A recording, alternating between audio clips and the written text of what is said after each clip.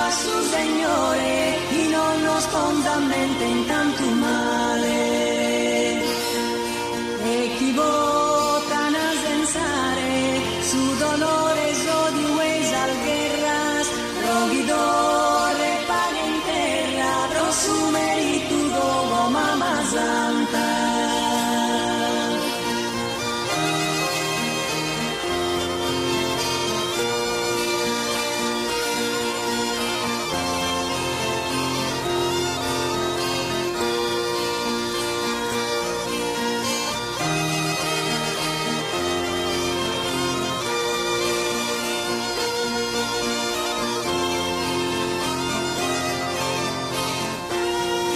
Se se do